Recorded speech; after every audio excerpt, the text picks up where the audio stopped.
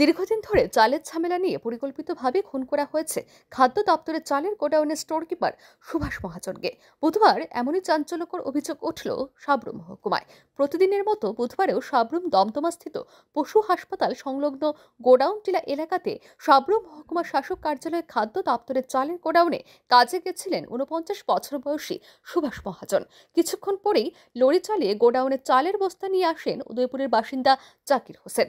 গোডাউনে প্রতিদিন কর্মরত শ্রমিকদের থেকে জানা গেছে, চালের বস্তার হিসাব নিয়ে লরি চালক জাকির হোসেনের সাথে প্রায়শই কথা কাটাকাটি হতো মৃত স্টোর কিপার সুভাষ মহাজনের বুধবারও ঝগড়া বিবাদের পর সুভাষ মহাজনকে দেখে নেওয়ার হুমকি দেন জাকির। খানিকক্ষণ পরে হঠাৎ চিৎকার শুনতে পেয়ে গোডাউনে কর্মরত অন্যান্য শ্রমিকরা দেখেন লরির পেছনের চাকাতে চাপা পড়ে আছে সুভাষ মহাজনের মাথা।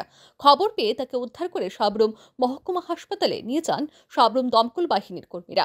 কর্তব্যরত চিকিৎসকের সামনে মৃত্যুর কোলে ঢলে পড়েন সুভাষ মহাজন। সাবরুম মহকুমার এসডিপিও দুলাল চন্দ্র দত্ত জানিয়েছেন, লরিটিতে ব্যাক গিয়ার নিতে গিয়ে দুর্ঘটনা ঘটে থাকতে পারে। আবার খুনের সন্দেহ উড়িয়ে দেওয়া যাচ্ছে না। প্রকৃত তদন্ত হবে বলে আশ্বাস দিয়েছেন সাবরুম মহকুমা শাসকের অফিসের ডিসিএম মনোজ প্রভাকর পাল। বারোটা পাঁচ নাগাদ আমাদের যে স্টোর কিপার সাবরুমে শ্রী সুভাষ মহাজন একটা অ্যাক্সিডেন্ট হয় মর্মান্তিক। ওই ফুডের গোডাউনে যে গাড়ি দিতে এসেছিল মাল, ওনার যাওয়ার সময় সেটা দিয়ে একটা মর্মান্তিক দুর্ঘটনা। হাসপাতালে নিয়ে যাওয়া হয়েছিল সঙ্গে সঙ্গে ফায়ার সার্ভিসকে ডেকে, কিন্তু ডাক্তার বলল যে মৃত্যু হয়েছে। সে অনুসারে আমরা হাসপাতালের বাকি ফর্মালিটিস ফিল করতে বলেছি এবং আমরা পুলিশের সঙ্গে এসে আমরা স্পটের মধ্যে ইনভেস্টিগেশন করল পুলিশও। আমরাও দেখলাম সমস্ত কিছু।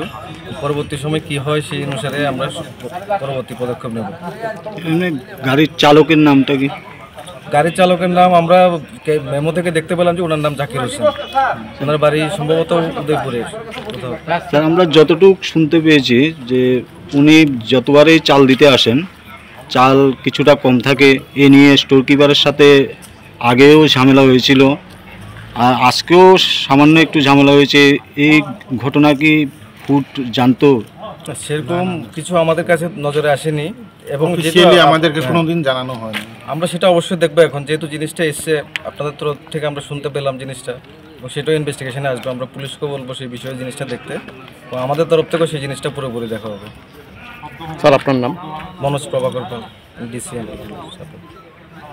ঘটনাস্থল থেকে পলাতক লরি চালক জাকির হোসেন। তার খোঁজে ইতিমধ্যে তদন্ত শুরু করেছে সাবরুম থানার police. Bureau report R E news